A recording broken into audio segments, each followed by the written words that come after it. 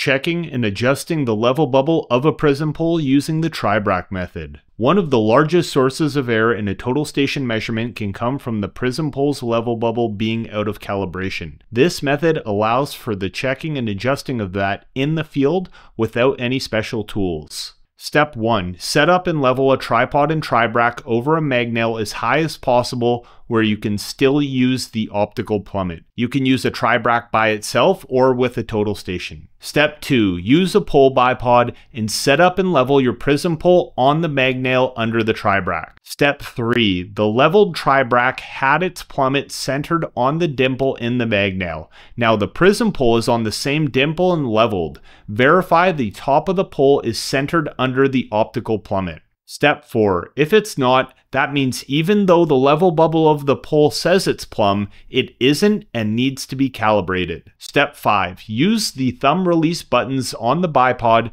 to adjust the center of the top of the prism pole to fall under the center of the Tribrach. Step 6. Now the prism pole is truly plumb, but the level bubble says it's not adjust the level bubble using an Allen key and tighten or loosen the adjustment screws under the level bubble until the bubble is centered in the vial. Turning the Allen key clockwise will pull that side of the vial down and push the bubble in the opposite direction. Do not over tighten any of the screws and if you cinch one side down, you can relieve tension by loosening a screw on the other side. All screws should have some tension when the bubble is centered in the vial. Double check the tip of the pole is still centered in the mag nail and the top is centered under the Tribrach.